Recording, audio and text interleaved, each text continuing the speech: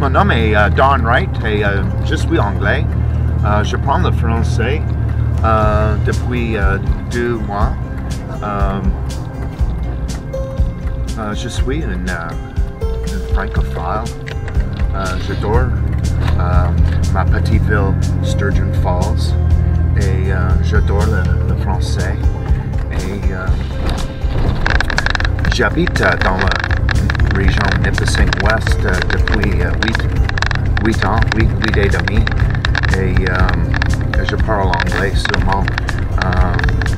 Mais il, il- il est un, un jour de learning. no, um, no, no, no. Um, but it's time to learn. Je suis euh, étude de la langue française